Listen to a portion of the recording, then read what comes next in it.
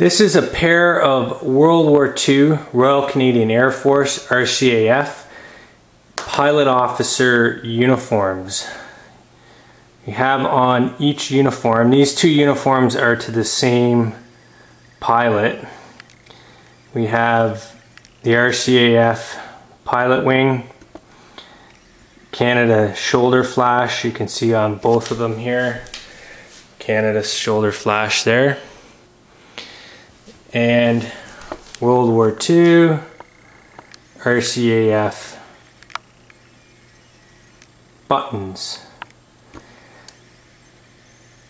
Both of these uniforms are not dated on the inside as they are private purchase or custom made, usually made by a, a local tailor either here in Canada or overseas.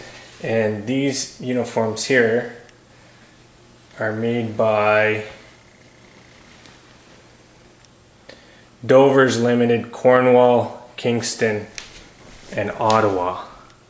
That's the label on this one.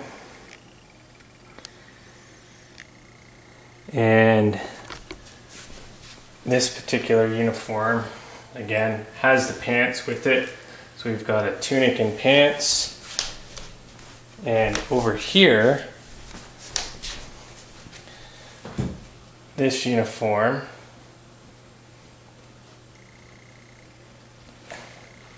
is also made by Dover Limited or Dover's Limited, Cornwall, Kingston, and Ottawa.